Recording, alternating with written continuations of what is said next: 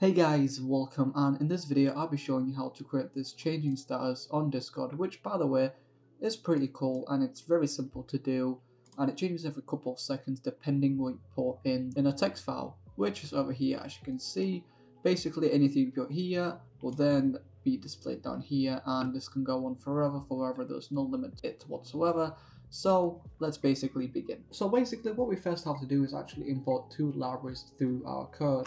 The first one is actually going to be time, since we're going to be doing um, time.sleep every couple of seconds. Like it basically depends on how long you want it to be. And then we also need to import requests. Why are we importing requests? This is because we're going to basically be requesting an API from Discord. Basically, we're going to be using Discord API to then change our status through the API like you can see over here. So to do this basically we need to actually first you know define what API we're going to be using from Discord API. So basically go here and then type in URL is equals and then https discord.com slash API slash version 9 slash users slash app me. Basically this gives us an API which changes stuff about us or should I say gives us basically stuff we can do with our account. So the next thing we want to basically do is actually open ourselves a text file, open one, create one if it doesn't exist already, so we can actually put our stuff in here. So to do this, we're going to basically do file equals open text.txt and then set it as read only since we don't have to write anything to it and the name can be anything you really want. Then after we've done that, we then have to read the individual lines in our text file. So this is very simple once again. We basically want to do lines is equals to file.read lines. And this is an inbuilt function of Python of the file thing, which basically reads individual lines in our Python, or should I say text file.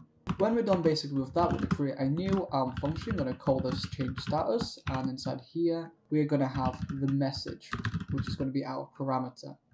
And before we actually, you know, call the API, we first need to have an authorization header.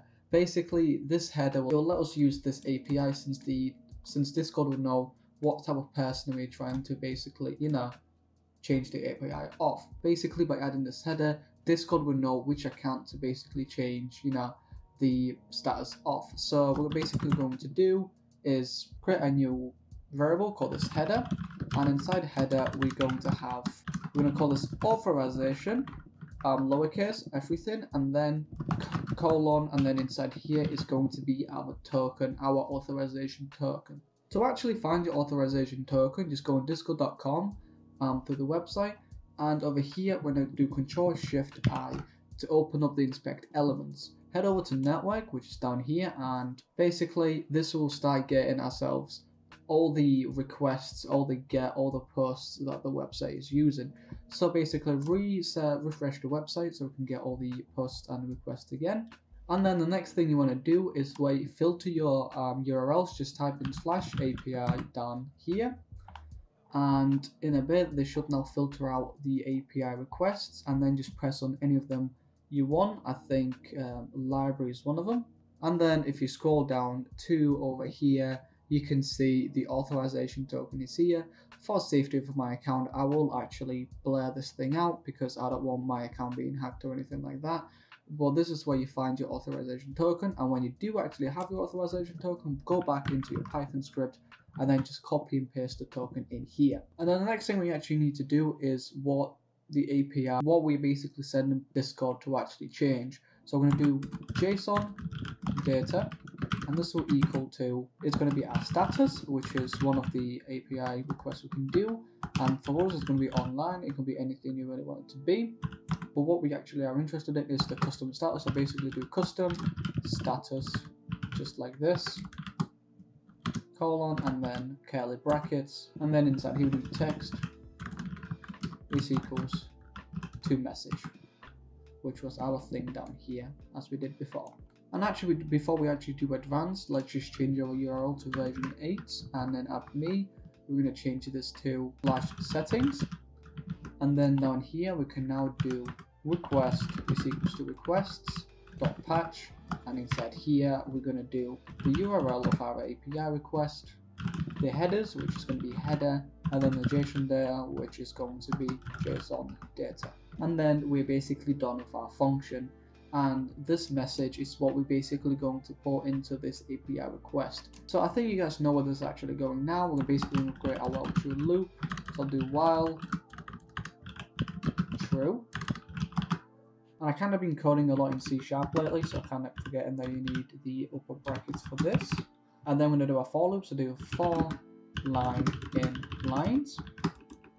We're going to do change status line dot split we're to do a line break and then the index of 0 just close the brackets down here and we should stop getting the error now. And then in the end you can do time dot sleep and then put this to something like 3 and then when we are all done with all that just launch your script like you would do usually.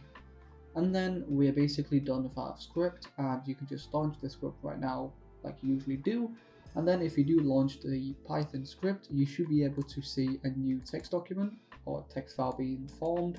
Obviously mine already has stuff in it since it's be basically been made before. But basically put anything you want in here and then each line will be basically the new custom styles that your Discord bot is gonna have. Not Discord bot, yourself. Even though you can actually put the same logic to a Discord bot too, nothing really changes. It's practically more easier since you can just do change status on a bot rather than making an individual request. But we digress. Now if we go back to you know Discord and over here, we can basically see that right now um, we have basically lyrics of a song being put on Eminem the way I am over here. And that's basically how you create a cool custom status that you can use. Um, if you enjoyed this video, just hit the like button, subscribe to my channel, and join our Discord server if you want to basically get more help, suggest any more video ideas I could do, etc. Other than that, have a great week, have a great day, and I'll see you next time.